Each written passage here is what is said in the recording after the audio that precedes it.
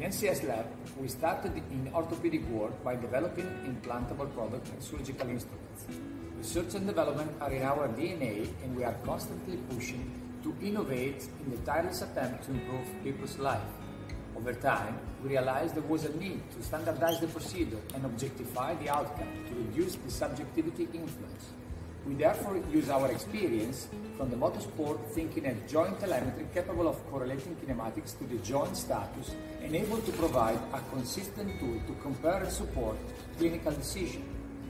During this massive data collection, we understood how functional alteration could influence the motor pattern affecting kinematic in a way that most of the time is not visible to the naked eye.